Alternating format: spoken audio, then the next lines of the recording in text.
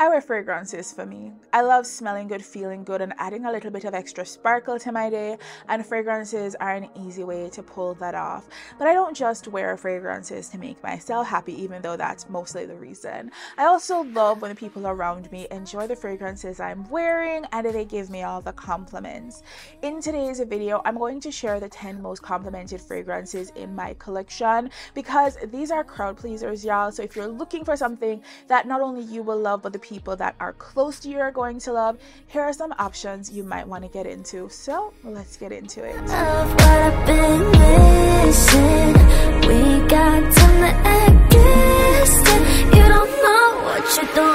Hi, I'm Jeanique, and I keep a mental tally of all the fragrances in my collection that get frequently complimented.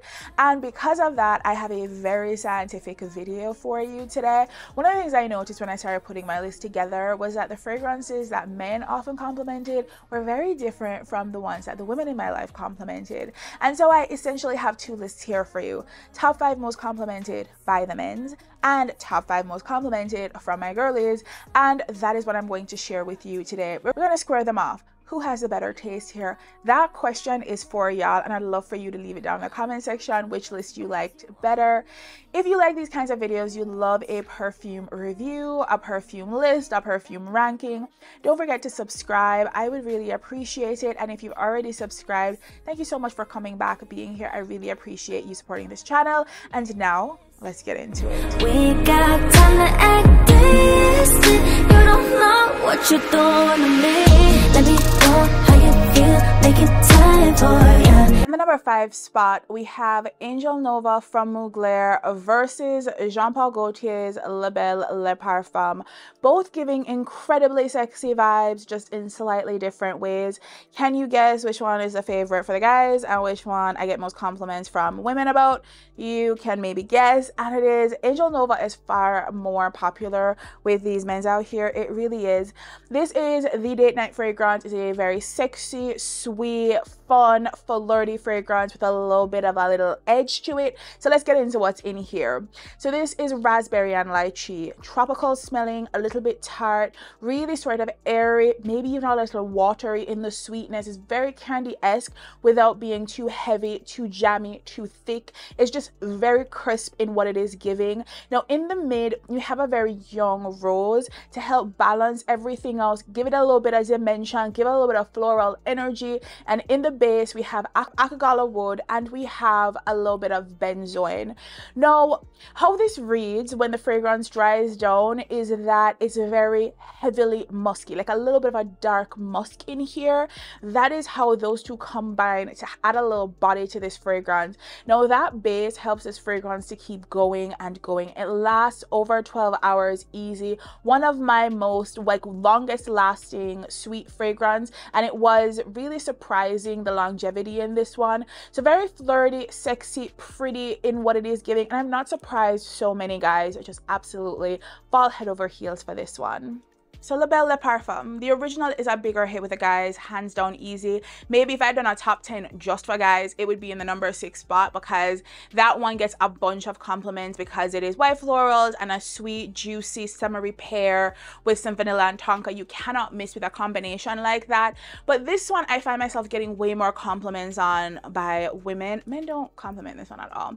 So let's talk about this one. So it still has that vanilla, tonka, jasmine. The jasmine in here is a lot more cutting. It is a lot greener. It is a lot um, more pronounced. It is not shying away. And that very sharp green jasmine balances out this like marmalade-esque pear.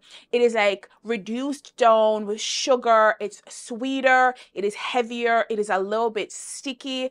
It feels like it's contradicting itself because we have this beautiful balance happening. Such a sexy fragrance and makes me feel really sexy when I put it on, even if the guys don't appreciate appreciate as much and likes the softer, prettier version. But I will say these fragrances, both Angel Nova and La Belle Parfum, are these sweet floral fragrances, just very texturally different. And I do find guys like that airier, flirtier, sweeter vibe versus the more manito, like rare energy you get from something like La Belle Parfum. In the number four spot, I feel like we have two very different fragrances. We have Carolina Herrera's Good Girl and we have Pro Prada Candy Kiss. Very different vibes from these fragrances in my opinion. One is giving church girl, the other one is giving the club at 2 a.m.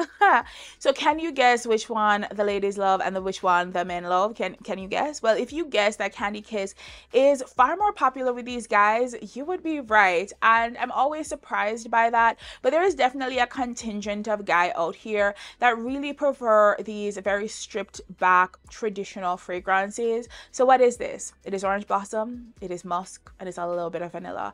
That's all that's it. And I often find that guys will really go go for these very traditional floral fragrances, just a little bit of rose with some musk, a little bit of tuberose with a little bit of musk, and that's it. And there's nothing else to the fragrance.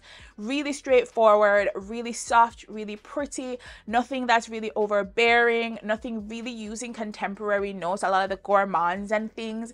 A lot of guys I know love these very straightforward traditional fragrances, and every single time I wear this, I will have one or two guys complimenting me on how good good I smell, how addicted they are to this smell. And I'm always surprised because it feels very, very simple. But I think simple just works for some people flip side, y'all, Good Girl is a very much a, a party fragrance. It is a party fragrance. It feels like a good time. It feels like you're early to mid 20s, just out in these streets living your best life. Now, there are so many notes in this one bottle. It's a little bit wild. I'm not gonna lie.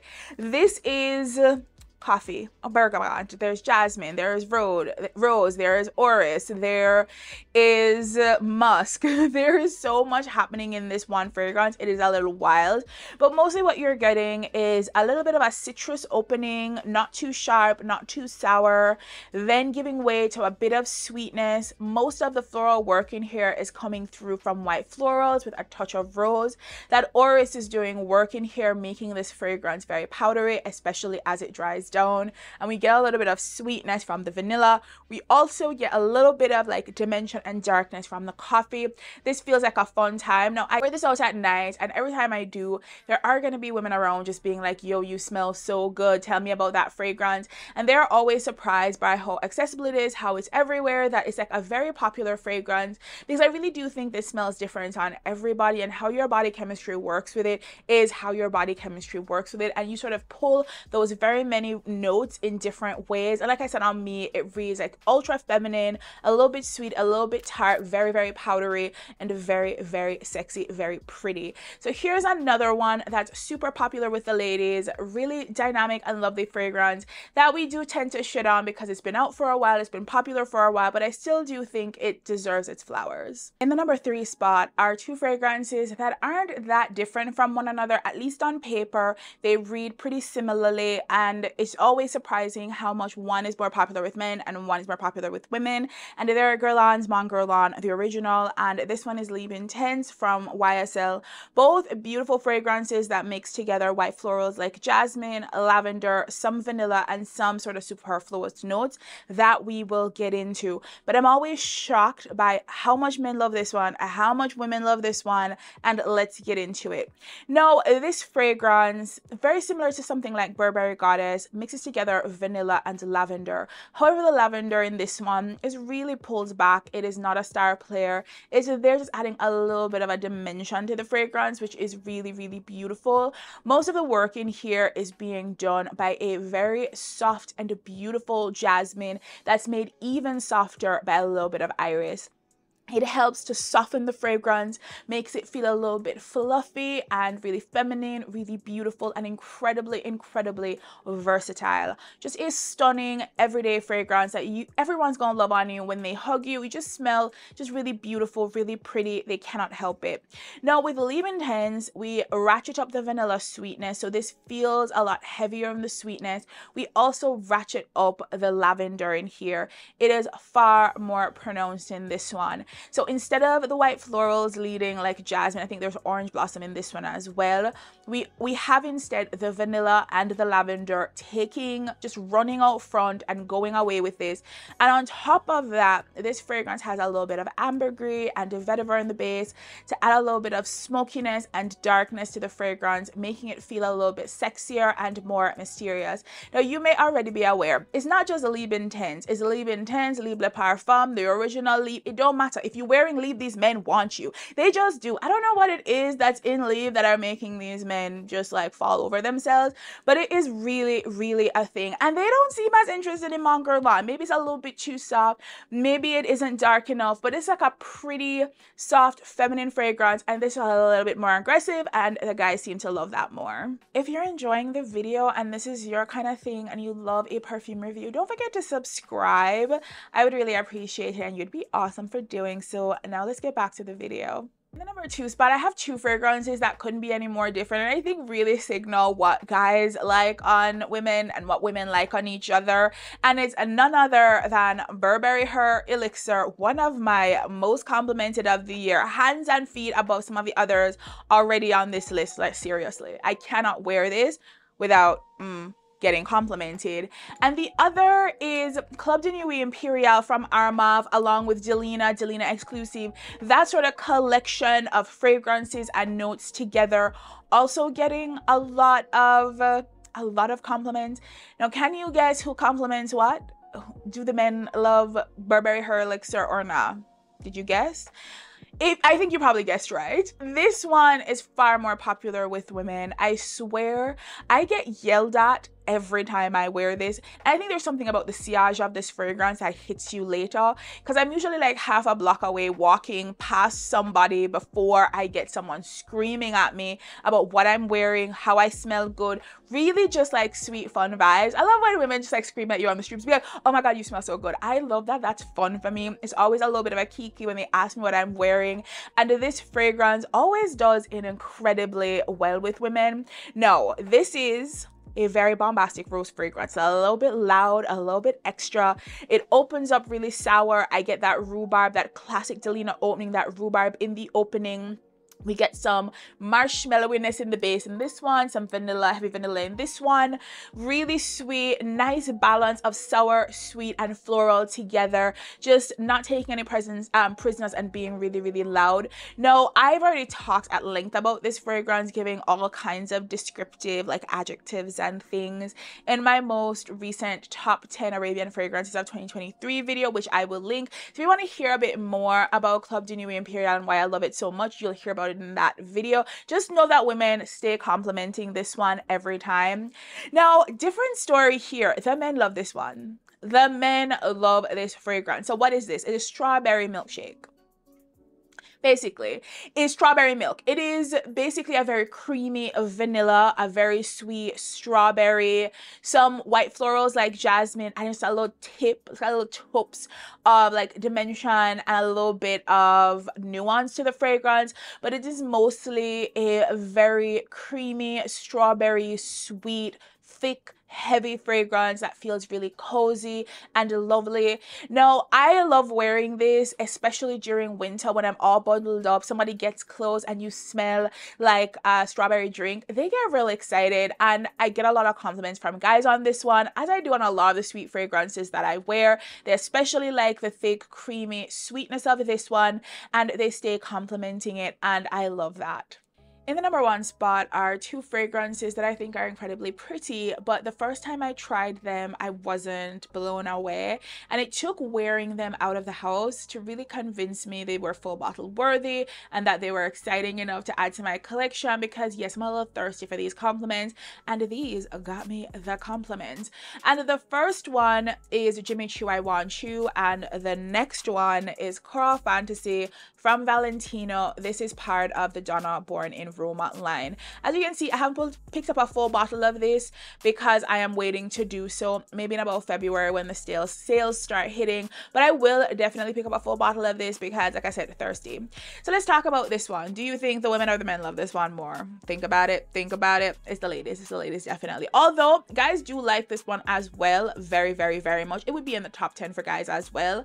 Now, this is a fragrance that is very classic in a lot of ways. It's white florals like jasmine with fruit like peach, soft, round, pretty, nothing too sharp or sour or in your face, just freshness, sweetness, really elegant, really pretty, incredibly versatile. You can wear this to work, date night, nights out with friends. You can wear it to run errands. It works no matter what. And it just plays on people's skin chemistry in a really lovely and beautiful way. Now, I know peach doesn't work for everybody, but it really works for me. And I really do enjoy how supple and summery peach smells. And in this, with that white floral backing, it just makes it even prettier. And I absolutely love this one and get a lot of compliments from other women whenever I wear it. The next one I'll talk about is Coral Fantasy. Now, I always take myself back to being in Las Vegas and literally being chased down to for a guy to tell me I smell good, or having doors opened for me, or guys walking behind me to just sort of walk up and say, just FYI, you smell really good. That was my experience with Coral Fantasy, and I will tell you, I was shocked by that. I thought this was a pretty tropical smelling fragrance. I think it's kiwi, maybe pears in here. I don't know what else.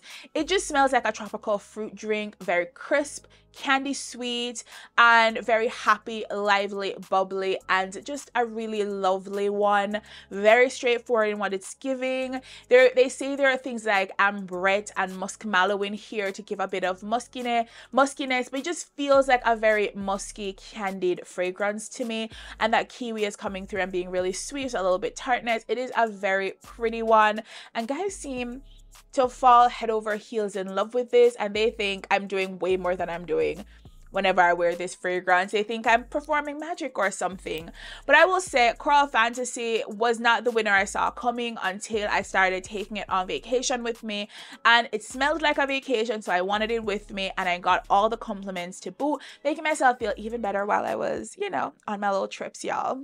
So that's everything. The 10 most complimented fragrances in my collection, hands down from both men and women because we want compliments from everybody. Now take a look at the lineup. I list the fragrances on both sides. Let me know who you think put together the better lineup, men or women. I would love to know, are they better at picking fragrances for us or are we better at picking fragrances for ourselves? Which lineup would you want? Let me know. I would love to hear all about it. Now if you enjoyed this video, like, comment, subscribe, subscribe, do the things. If you fucking hated this video, like, comment, subscribe, do the things. Also, again, I'm Jeanique. I'm thirsty, thirsty for these compliments and I will stay stacking fragrances that get me them. So let's come back for the next one. It'll be a fun one. Bye y'all